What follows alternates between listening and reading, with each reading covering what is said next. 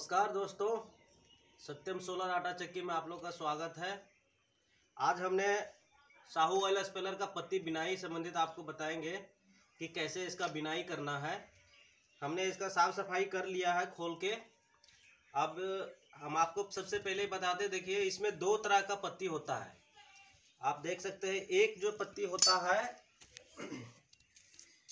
एक जो पत्ती होता है, ये सिंपल है। देखिए, किसी तरह का इसमें कोई कटवट कुछ नहीं होता है। ये कोर जो देखिए, ये जो धार है इसका, ये कहीं कट नहीं है। आप देख सकते हैं, कहीं भी कट नहीं है थोड़ा सा भी नहीं। ये सादा पत्ती है।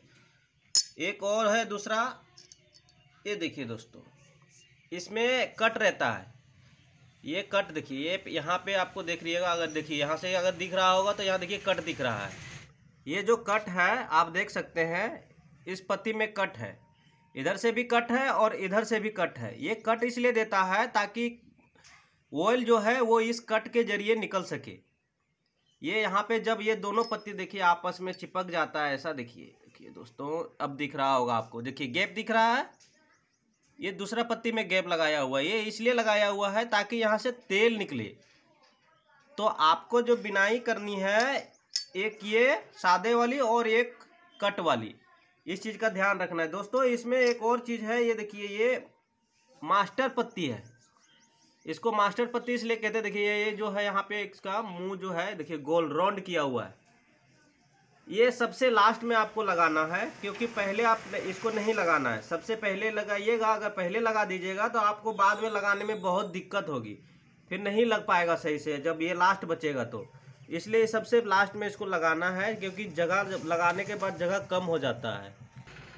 इस मास्टर पत्ती को आपको लास्ट में लगाना है। इस बात का ध्यान रखिएगा। चलिए अब इसको साइड में रखते हैं हम। देखिए, जब ऐसा आपका भी पत्ती कहीं टूट जाए, तब क्या कीजिएगा? देखिए, अगर आपके पास नया अवेलेबल हो तो आप नया लगा सकते हैं। अगर नया नहीं हो तो इसे सिर्फ़ ऐसा बैठा के आराम से और लगा देना है आपको। जब ये चैम्बर में बैठ जाएगा तो ये चिपके ये चिपक जाएगा इसमें कोई दिक्कत नहीं ज़्यादा होता है।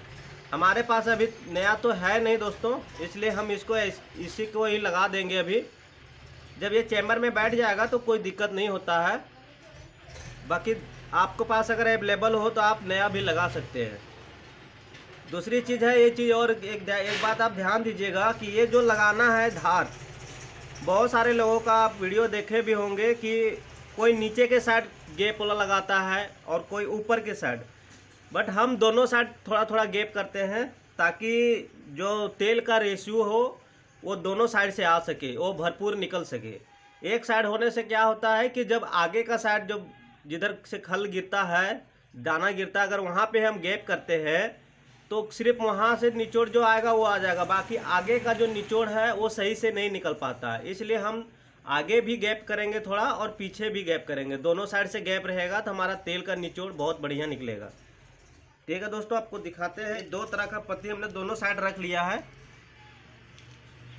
सबसे पहले आपको एक कोई भी पत्ती इसमें से या इसमें से कोई भी उठानी है और इसको सीधा ऐसा लगा देना है।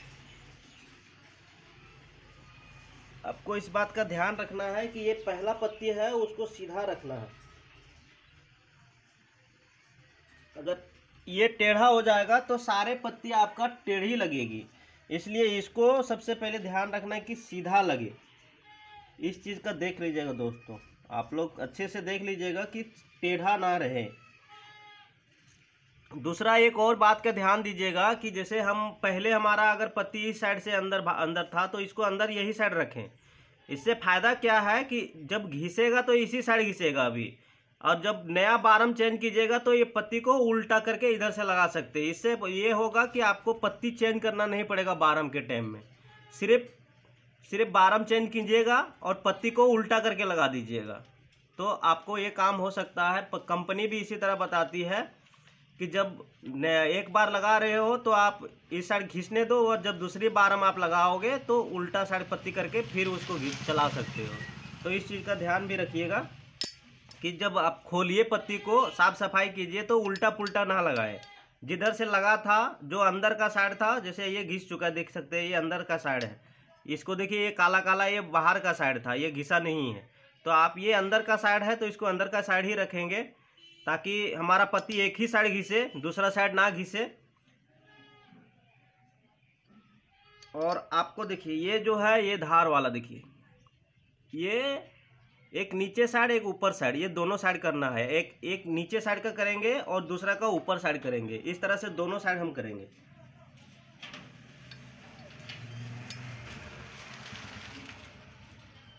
देखिए, ऐसे लगाना है आपको। आप देख सकते हैं। देखिए, इस तरह से लगाना है। देखिए, इसमें आपको दिख रहा होगा, एक का नीचे साइड गैप है, एक का ऊपर साइड गैप है। देखिए इस तरह से थोड़ा थोड़ा गैप होगा। अभी ये चिपका नहीं है पूर्ण रूप से। जब सारा पत्ती लग जाएगा तो आपको सही दिखेगा। अभी दोनों साइड हल्का हल्का गैप लग रहा है बट जब पूरा लग जाएगा तो पूरा अच्छा से दिखेगा कि किधर से गैप है, किधर से नहीं। ठीक है, आपको दिखाते हैं। आगे पूरा लगा करके दोस्तों।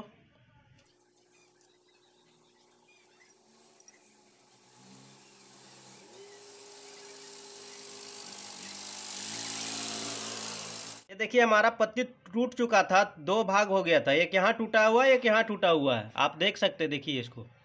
देखिए, टूटा हुआ है, देखिए। अच्छे से देख सकते दो जगह टूट गया है।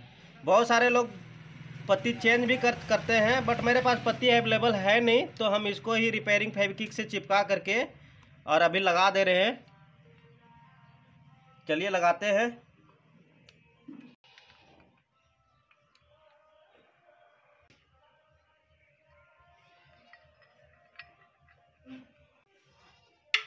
ये देखिए, ये मास्टर पत्ती का यही काम है। देखिए, जगह, यहाँ पे अब जगह थोड़ा कम हो गया। अब ये यहाँ डायरेक्ट ऐसा रहेगा, देखिए, इस साइड से नहीं घुसेगा, देखिए। ये इस साइड से अंदर नहीं जाएगा। तो ये जब राउंड होता है यहाँ पे तो इसको घुसाने में इजी होती है। यहाँ पे देखिए, अब ये आराम से इसको बैठा देंगे और कुछ भी थोड़ा, देखिए, अब अंदर जाते जाने के बाद टाइट हो गया ये। अब इसको धीरे धीरे करके इसको आराम से ठोक देंगे। इसको थोड़ा ज़्यादा वज़नदार हथौड़ा से नहीं मारे, क्योंकि ये नाजुक चीज़ है। पत्ती बहुत हार्ड होती है, टूट सकता है, इसलिए इसको धीरे धीरे आराम से ऐसे ठोक देना है।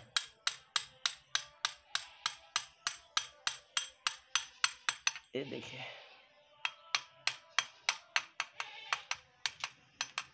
ये देखिए, पूरा हमारा लग चुका है। अब देखिए, अंदर से कैसा दिख रहा है, देखिए। हमने दोनों साइड इसका होल जो रखा है दोनों साइड रखे देखिए ऊपर का साइड भी है और नीचे के साइड भी है देखा आप दिख, आपको दिख रहा होगा। देखिए नीचे साइड भी है और ऊपर साइड भी है। दोनों साइड हमने किया है इसका ताकि तेल निचोड़ बढ़िया से हो सके। अब इसका हम पूरा सेट करते हैं। इसको आराम से धीरे धीरे ऐसे घुमाते जाना है दोस्तों। और टाइट कर देना है।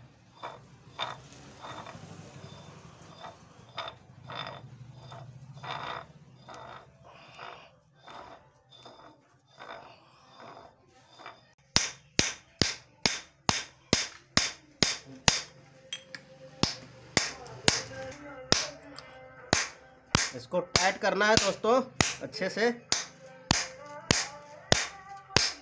ये सारे पत्ती को टाइट करके रखता है।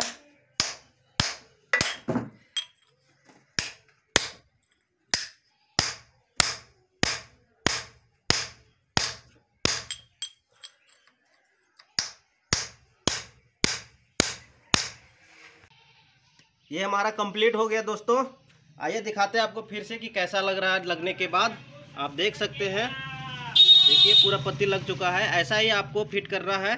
देखिए, ये पूरा लग चुका अच्छे से। देखिए, ये चीज़ का ध्यान रखिएगा। ये पूरा हाथ जब आप डालोगे तो ये पूरा बराबर लगना चाहिए दोस्तों। ऊपर नीचे पत्ती ना हो, इस चीज़ का ध्यान रखिएगा। ऐसा ही वीडियो देखने के लिए हमारे चैनल पे बने रहे। धन्यवाद दोस्तों।